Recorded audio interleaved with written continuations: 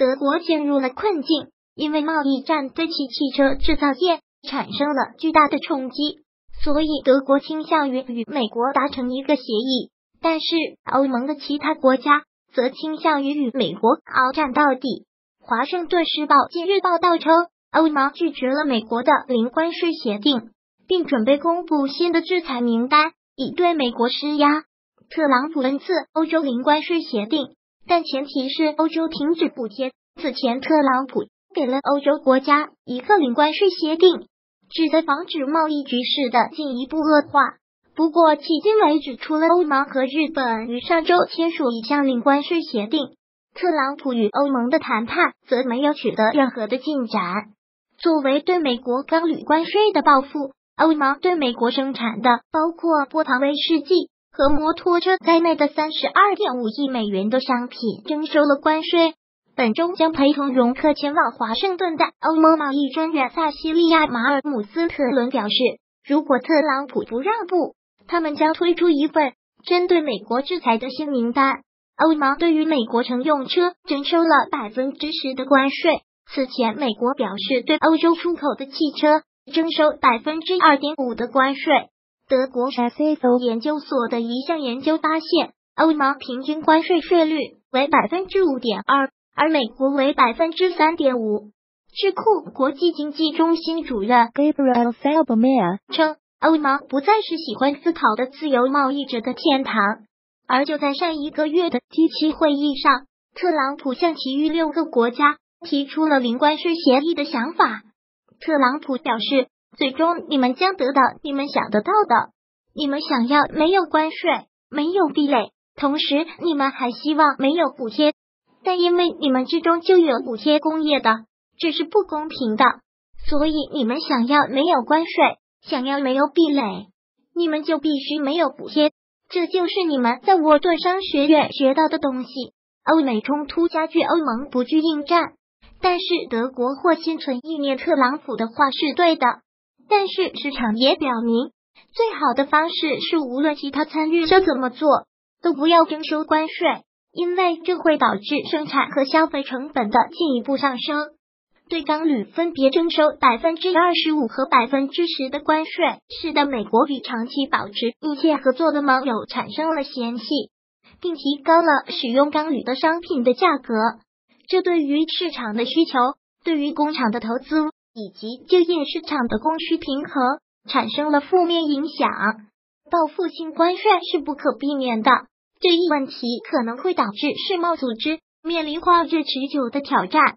沃顿商学院管理和商业经济学以及公共政策教授安哈里森表示，关税是令人震惊的，因为此前几乎没有人认为特朗普会兑现他的威胁，因为这涉及到美国最亲密的盟友。欧洲智库表示，德国实际上希望达成一项协议，以防止贸易局势的恶化。但是，欧盟的其他国家却不这么想。在政治领域，德国并不像媒体所说的那样，德国对于关税立场是与整个欧盟一致的。至少，这个观点在市场上是站不住脚的。事实上，德国想要与美国达成一项协议。但在 G 二零财长会议上，法国财长勒梅尔表示，只要美国在钢铝上继续征收惩罚性的关税，那么法国将不会与特朗普保持协商。勒梅尔继续表示，欧盟不会与任何拿着枪顶着他们头的人协商。欧盟对于美国汽车行业征收的关税高于美国征收的数额。如果欧盟拒绝进行谈判，考虑到欧盟依赖于出口。这可能会对其经济产生巨大的影响。此前，有关人士表示，由于贸易战的影响，全球经济增速将放缓百分之零点五。但是，从目前的情况来看，这一估值未能完整覆盖贸易战所影响的范围。在上周末，特朗普扩大了其在贸易冲突中的论调，包括宏观经济管理。同时，特朗普还控诉欧元区操纵汇率。这在美国本国法律中是一个非常严重的指控。如果一个国家真的被视为了汇率操纵国，那么美国将会施加惩罚性关税，而不需要像现在一样诉诸于国家安全这一理由。除此之外，欧盟还会在其他方面与美国存在分歧，比如法国永远不会放弃其农业税收政策，即使德国在某些方面愿意和美国妥协，但是德法两国的分歧加剧，可能会使得德国处于一个尴尬的境地，并且德国受到的伤害将远远大于法国等其他欧盟国家。德国在欧洲内部贸易占优是其想要达成协议的关键因素，让欧元贬值。消除财政赤字的政策是欧盟欧元区纾困战略的核心内容。毫无疑问，这些政策对世界其他地区产生了外部影响。他们必须吸收欧元区目前相当可观的经常账户盈余，可以理解为出口受阻。因此，指责欧盟的不公平贸易行为，要比批评其宏观政策要难得多。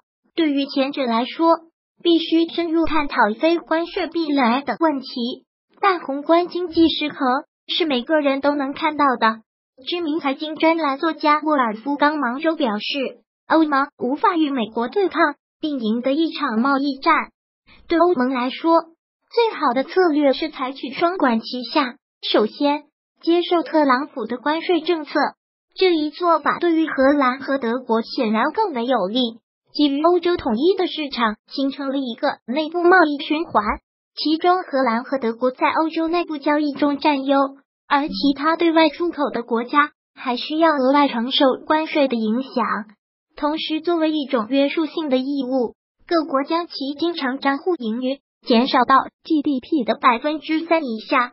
有了这样的双重方法，欧盟作为一个整体将会获益。但问题是，最终欧盟能否在贸易问题对美立场一致？如果不能，这可能将导致贸易局势进一步激化。如果喜欢本视频，请分享并订阅本频道，别忘了按赞哦。